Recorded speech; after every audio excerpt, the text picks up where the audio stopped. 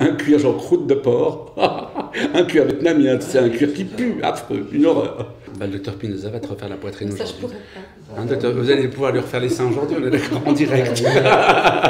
on peut y aller. on peut y aller. Faites-moi le plein, docteur, faites-moi le plein. Faites-moi le plein de super. Là, j'ai ajouté 2 millilitres et demi. Combien 2 minutes et demi Deux, ouais. Ah, marinette, donc on fait le double. C'est plus cher. Tout est plus cher, j'ai à remarquer.